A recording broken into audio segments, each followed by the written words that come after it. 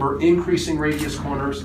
It has banked corners. It has sweepers. It has serpentines. It has 180s. Um, all that are different. The, the, the feel of the course is very different. Down below, it's almost like skiing powder fast. It's Signing of the death wish right here. this is on most top international drivers' bucket list of an event they absolutely want to compete in and do.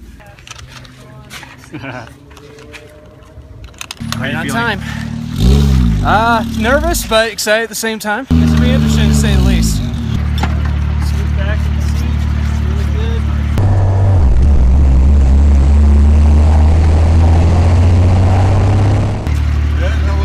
Awesome.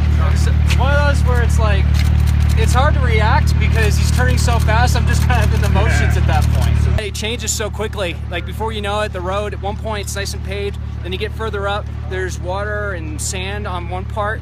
So you're quickly having to maneuver around that. And then on top of that, it's just the fact it just changes so fast that you have to react within a split second. What would you tell spectators um, as first time on, you know, being doing this to feel like a race car driver? Uh, it's the closest thing you can get to it. You could feel the adrenaline rush as you're going up and around the course. You you feel exactly how quickly they have to think when that next turn comes around and how you have to quickly just be prepared for whatever's there because you really only have less than a second to react. This is awesome. This was a lot of fun. I don't know. We'll see once once I get in the car. Um, I don't know. You said you're hitting 80, 90, so maybe get up there a little bit, maybe a little more.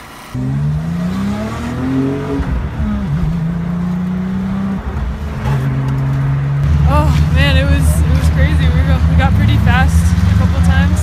Um, Conditions?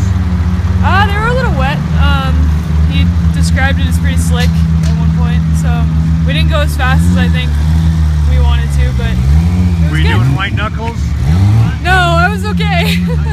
I was filming a lot of it, so we got some good. So good- gut reaction. Um, I wish we'd gone a little faster.